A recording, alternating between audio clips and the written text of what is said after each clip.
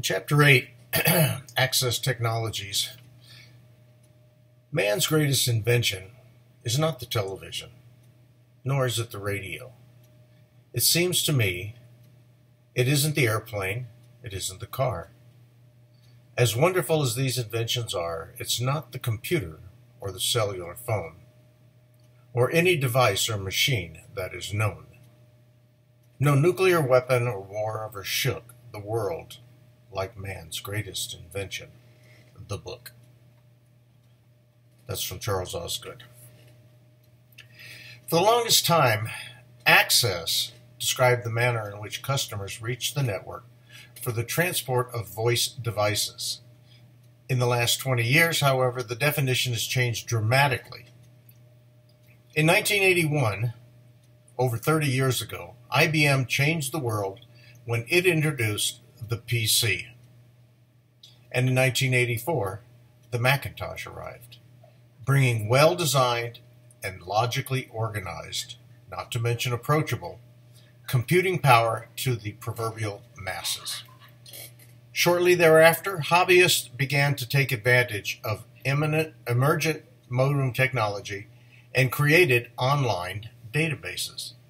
The first bulletin board systems that allowed people to send simple text messages to each other. This accelerated the modem market dramatically.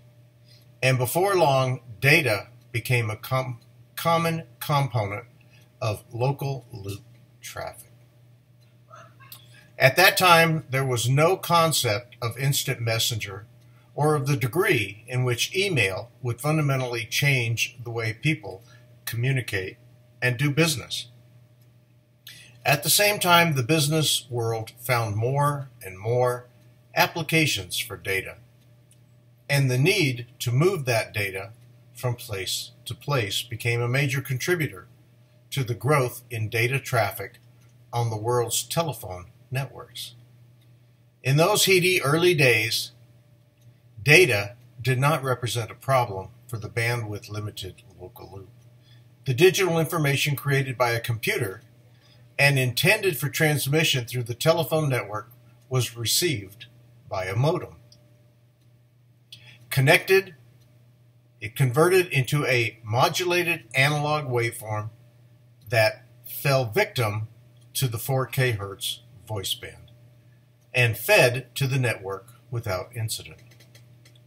As we mentioned in an earlier chapter, the modem's job was, and still is, quite simple. Invoke the Wizard of Oz protocol.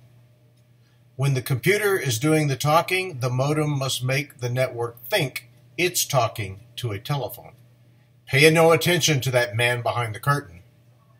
Over time, modem technology advanced, allowing local loop to provide higher and higher bandwidth. This increased bandwidth was made possible through clever signaling schemes that allowed a single signaling event to transport more than a single bit. These modern modems, often called the Shannon busting modems, because they defy the limits of signaling defined by the work done by Claude Shannon in the early 20th century, are commonplace today. They allow baud levels to reach unheard of extremes and permit the creation of very high bit per signal rates. DSL, for example, uses modems at either end of the circuit to achieve extremely high bit rates over an analog facility. The analog local, local loop is used today for various voice and data applications in both business and residential markets.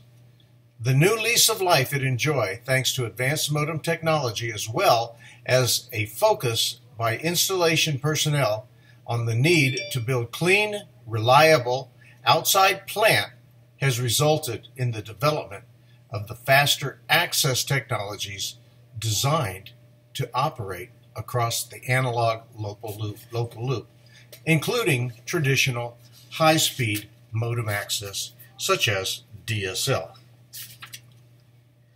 Access technologies used to connect the customer to the network come in a variety of forms and offer a broad variety of connectivity options and bandwidth levels.